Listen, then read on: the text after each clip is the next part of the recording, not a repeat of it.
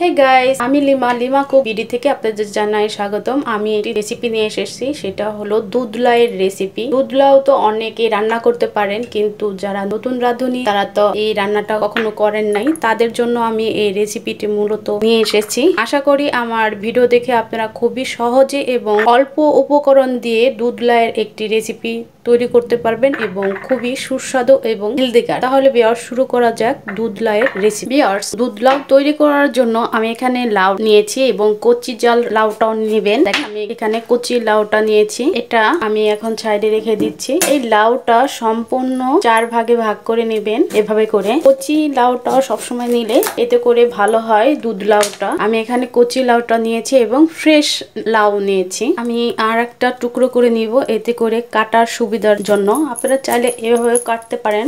আমি শুধু কাটার সুবিধার ক্ষেত্রে এভাবে করে কেটে নিয়েছি। আমি এটাও এভাবে করে কেটে নিয়েছি। এখানে আমার টোটাল চার পিস নিয়েছি। এখন আমি এটা তুলে নিচ্ছি। এখানে আমি কাটার দিয়ে ভালো করে এভাবে স্কিন ছাড়িয়ে নিচ্ছি। এভাবে করে সবটা সাইডে স্কিন ছাড়িয়ে নিতে হবে। দেখেন বিয়ার্স এভাবে করে সম্পূর্ণ দিকটা আমি চুচাটা ছেড়ে নেব বা স্কিনটা ছাড়িয়ে পরিষ্কার করে নিচ্ছি। এখানে আমি সবগুলো পরিষ্কার করে নিচ্ছি এখন এই স্কিন দিয়ে, এই চুচা দিয়ে আপনারা চাইলে চিংড়ি মাছ ভাজি বা বাটাও তৈরি করতে পারেন। আমি এখানে এটা সরিয়ে রেখে দিচ্ছি। স্কিন ছাড়ানো হয়ে গেছে। আমি এখানে এটা টুকরো করে কেটে নিচ্ছি এবং মাঝের যে অংশ আছে সেটা আমি বাদ দিয়ে দিচ্ছি। এভাবে করে আপনারা যখন করবেন, সেটার মাঝের যে অংশ আছে সেটা বাদ দিয়ে দিতে হবে। দেখেন, আমি এই মাঝের অংশটু ফেলে দিচ্ছি। এটা চাইলেও আপনারা ভাজি তৈরি করতে পারেন। আমি এটা ফেলে দিই। আমি এখানে সবগুলো দেখেন, আমি বুকের অংশ এভাবে পরিষ্কার করে নিয়েছি। এখন আমি এটা পানিতে ভিজে রাখব। কষটা বের হওয়ার জন্য। আমি এটা পানিতে ভিজিয়ে রেখে দিচ্ছি।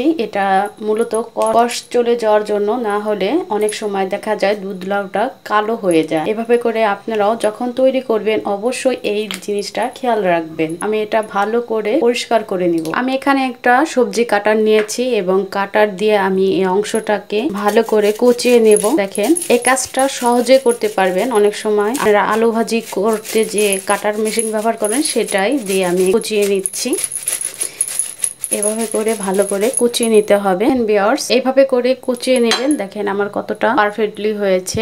এভাবে করে আমি সব এখন কুচিয়ে নিচ্ছি। আমার এইখানে এতটা কি হয়েছে দেখেন, আমি এভাবে কুচি করে কেটে নিয়েছি। এখন আমি দ্বিতীয় প্রসেসে যাচ্ছি, সেটা হলো এটা আমি এখন সিদ্ধ করব। এটা সরাসরি দুধে দিয়ে চেষ্টা করবেন না, এতে করে যে ফিনিটা আছে সেটা ভালো হবে না, পায়েসটা লাউ যেহেতু আমি শাহি ফেভার দিব, সেজন্য এটা আমি এখন চুলায় সেদ্ধ করে নিচ্ছি। এখানে আমি একটা পানি পাত্র নিয়েছি এবং কিছু পানি দিয়েছি, এটা সেদ্ধ হওয়ার জন্য। দেখেন, পানিটা অনেকটা বলক উঠে এসেছে। আমি এর মধ্যে লাউগুলো দিয়ে দিচ্ছি। সব লাউগুলো এর ভিতরে দিয়ে দিতে হবে। বিয়ার্স এখানে একটা কথা বলে রাখছি। লাউতে কিন্তু কিছুটা পানি উঠে, এর জন্য পানির পরিমাপটা কমিয়ে দিবে। দিবেন, দেখেন, আমার অনেক পানি হয়েছে। এভাবে আমি দু থেকে তিন মিনিট এটা একটু সেদ্ধ করে নেব। আমার এটা হয়ে গেছে। এখন আমি এটা নামিয়ে নিচ্ছি এবং ছেকে একটু পানি ছড়িয়ে নিচ্ছি। দিচ্ছি। আমি এখানে এটা ছাকনা দিয়ে ছেঁকে রেখেছি। এটা একটু জোরানোর জন্য এবং পানিটা ঝর্নার দেওয়ার জন্য রেখে দিচ্ছি সাইডে। এর মধ্যে আমি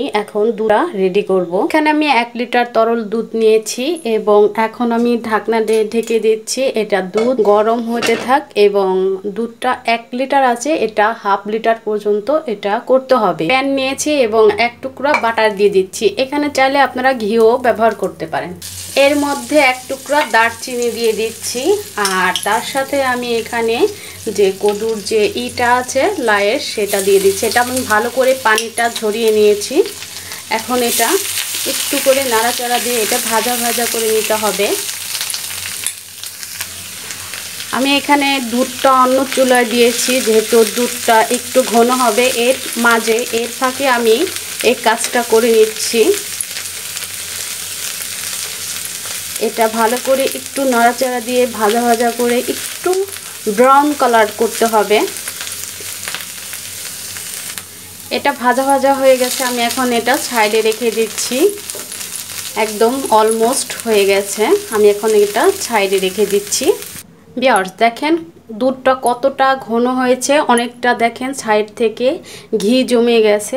এতটাই আপনারা করবেন তাহলে পারফেক্টলি একটা যে কদুর ফ্লেভার এবং পায়েসটা খুবই সুস্বাদু হবে। আমি এর মধ্যে এক কাপ পরিমাপ চিনি দিয়ে দিচ্ছি। আপনারা চিনিটা যার যার পছন্দ অনুযায়ী খাবেন। যেহেতু আমি এখানে খেজুরের গুড় দিব, সেহেতু আমি এক কাপ পরিমাপ চিনি দিয়েছি।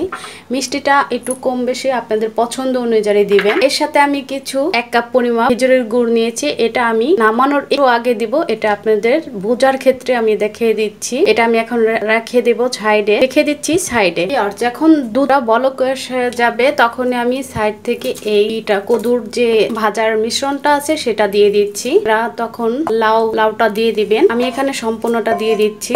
এখন একটু নাড়াচাড়া দিয়ে আরও পাঁচ মিনিট আমি এটা এখানে আমি সামান্য একটু লবণ দিয়ে দিচ্ছি। এটা আপনারা অপশনাল চাইলে দিতে পারেন। মিষ্টিতে একটু লবণ দিলে আমার কাছে পার্সোনাল ভাবে ভালো লাগে, এর জন্য দিচ্ছি।